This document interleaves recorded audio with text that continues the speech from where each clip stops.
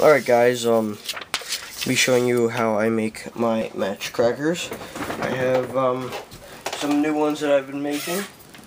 Uh, I'll just get one out to show you.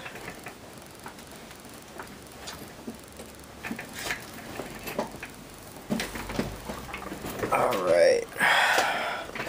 Keep them all in my little box right here.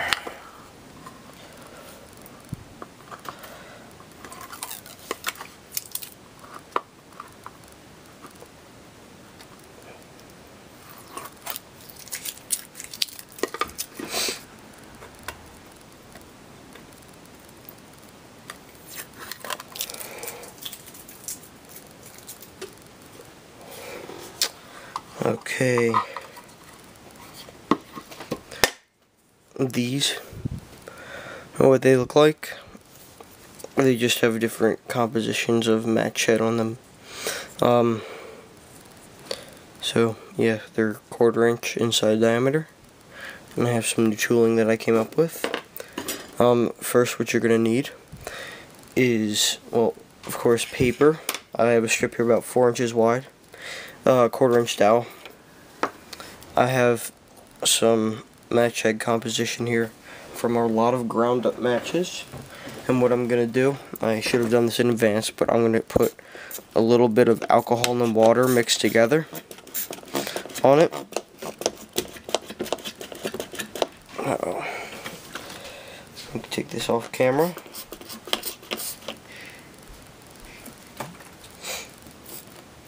Alright, so just let that set and turn into a little like slurry. And that should be ready by the time we get to that part. So then what you're going to want to do you're going to want to have glue. I'm using Elmer's wood glue for like dark and hardwoods. That's what she said. Um, so I'll take a little bit of this out.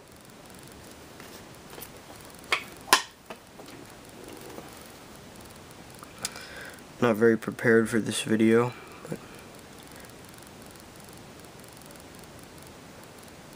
Alright, all that you're going to need is just a little bit. Hold on guys, I'll be right back. I have to grab something.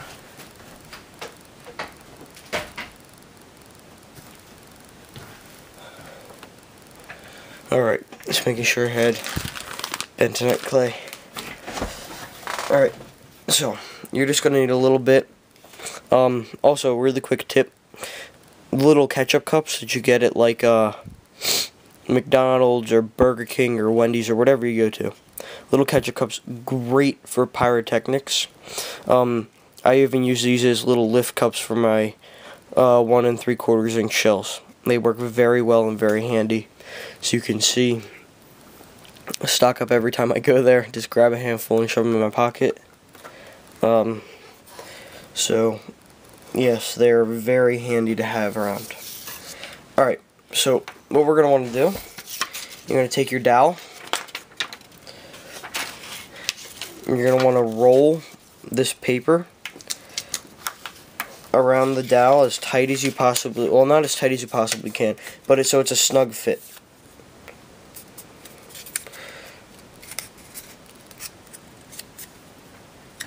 Alright. This will help tighten it when you roll it in between your hands. Alright, so there you have your tube.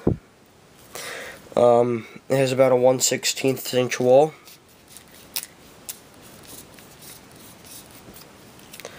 Alright, so we're just going to glue this flap right here down. Just get a little finger, uh, little glue on your finger. And just run it along. Spread it out.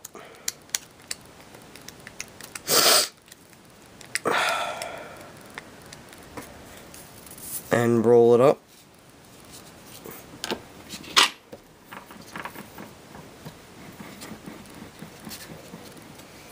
Alright, so there is your tube.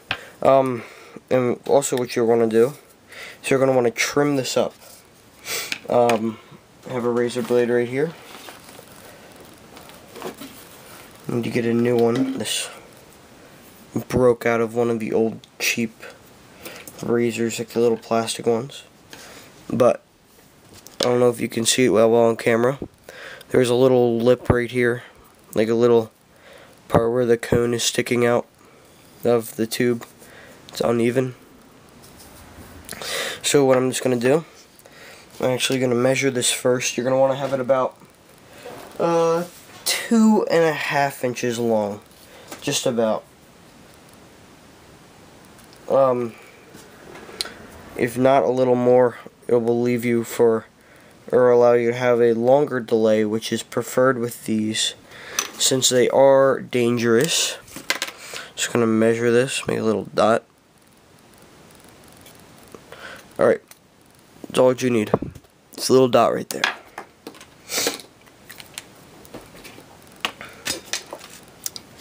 Alright, so what you're gonna do, just take your blade, place it on the dot, and roll it back and forth in straight as a line as in as straight as a line as possible. Ah. Alright, so just like that, and then you just slide off the top. There you have your casing. Alright, so now once you have this, you're going to take, well, you're going to want to make these first. Take a quarter inch dowel and cut about uh, five or six inches.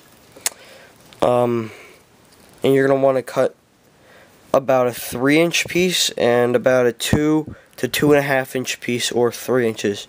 Um, so if you cut six, just cut it in half. And then drill two holes in each side in the middle, well, as best as you can in the middle and then take masking tape, uh, three quarter inch masking tape, and place it at the top of the longer section um, with about one quarter to one eighth inch space at the top. So like that, with the hole facing, with the hole on the longest side of the tape, like on the longest side of the dowel.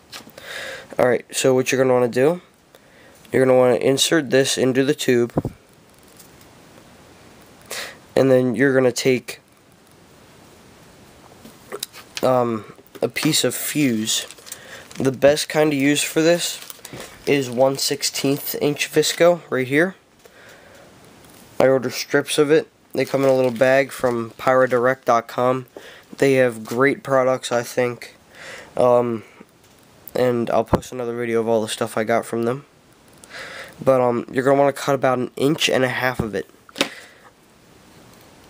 And insert that. And what you're going to want to do, when, you, when you're done, insert it into the hole in the dowel. And then cut it so it's flush with the top of the tube. Alright, so now what we're going to uh, set that down. Now what we're going to want to do you're going to take your bentonite clay, very finely powdered bentonite clay. Let me get my scoop.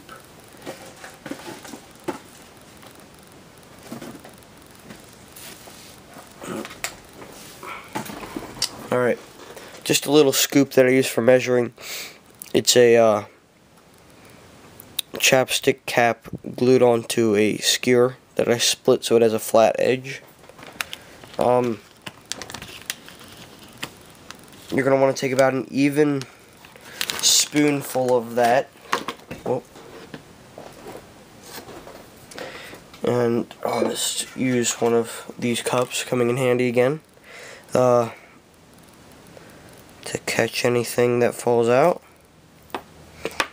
And just tap it to even it out. Alright, so you're going to add a little increment. So you can see I have right there. And you're going to take your dowel and you're going to put the fuse in the other hole on this dowel. And then what you're going to want to do is I use a little um, tack hammer right here and tap that down. Not that much, so um, the other the uh, other amount of clay has something to, I guess, like sort of adhered to. Um, so, add your clay again. Level it out. And repeat this process until, if you can see that you're about that far from the top. This I haven't rammed yet, so I'm going to keep on doing that until I get the right amount you're going to want to have about a half an inch plug. And keep try and keep this as straight as possible so this will not bend out from the pressure. Alright, I'm almost there. Probably a little bit more clay. About a quarter of an inch from the top, or yeah, about a quarter of an inch.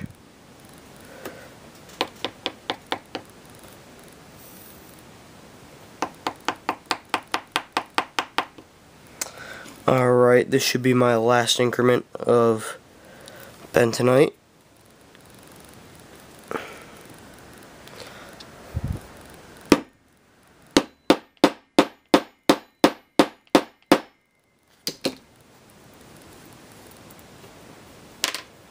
Alright, and there you go.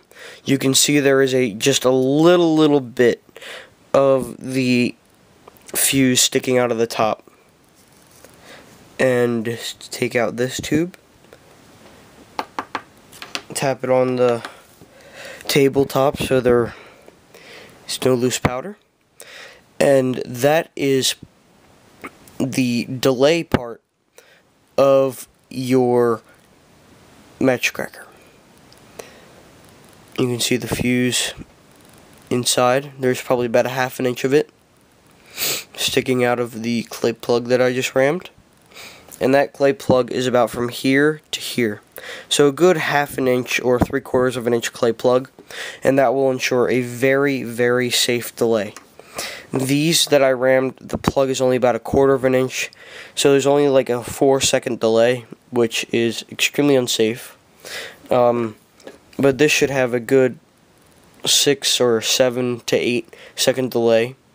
Um, I still urge you, please do not hold these in your hands. Um, as soon as you strike them, please throw them. I um, don't want to see anybody getting hurt with these, um, especially this kind, because they're larger and I'm going to be using flash powder in these uh, so they will be more powerful. Alright, so with that part out of the way, just want to clean up your workstation a little bit. Alright.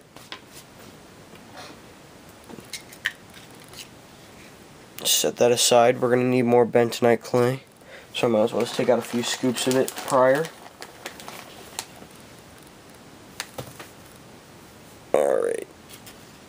So just take a few scoops out of your bentonite clay. Just say one more for the bottom plug that we're going to have to ram. Alright, that's all you need. Alright, so what we're going to do now is we are going to take our flash powder. Um, I don't have any black powder on hand. I don't feel like getting it out of the gun cabinet right now. Um, but I'm using flash powder that I have added a little bit of titanium powder which I will add a little pinch more just for good luck.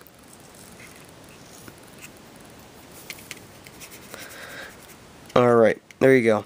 This is about uh, half of a gram to three quarters of a gram. So we're just going to empty that into our tube.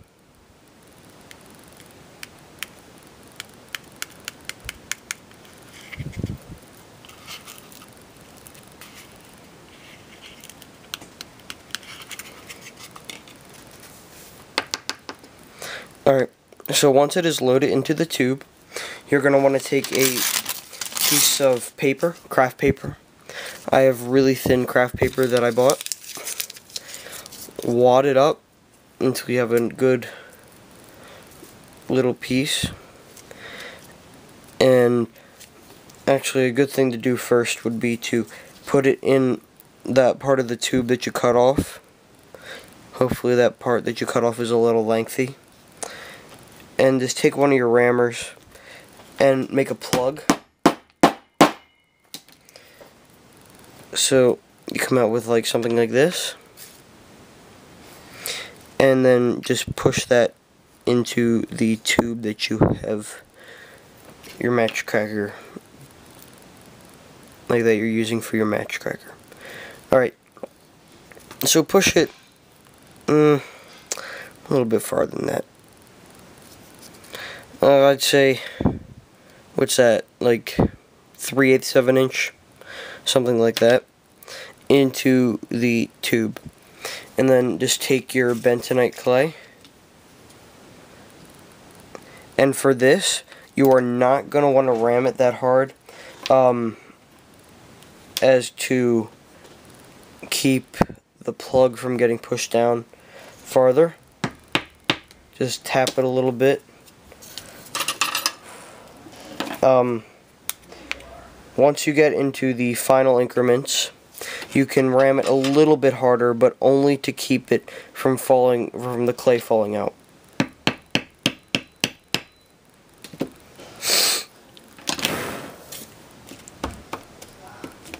Alright, this is probably the last increment. Alright, so here we go. Alright, so that should be a good half an inch or so plug, probably from here to about here. Alright, and then what you want to do, this is the last step. Uh, we have had our match heads prepared. And we are just going to take this, scoop up a little bit, and start applying it to the top of this. What you're going to first want to do is to apply it so it's inside of the lip of the tube and then just take it and make like almost like a dome over the top of it.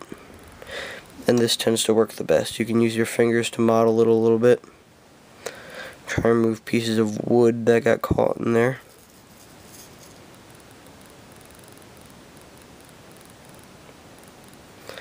alright just add a little bit more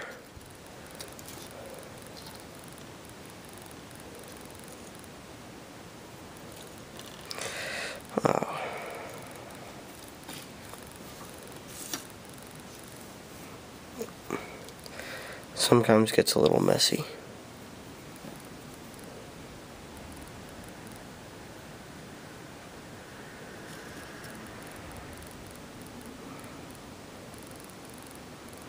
Alright, and that is your finished match cracker.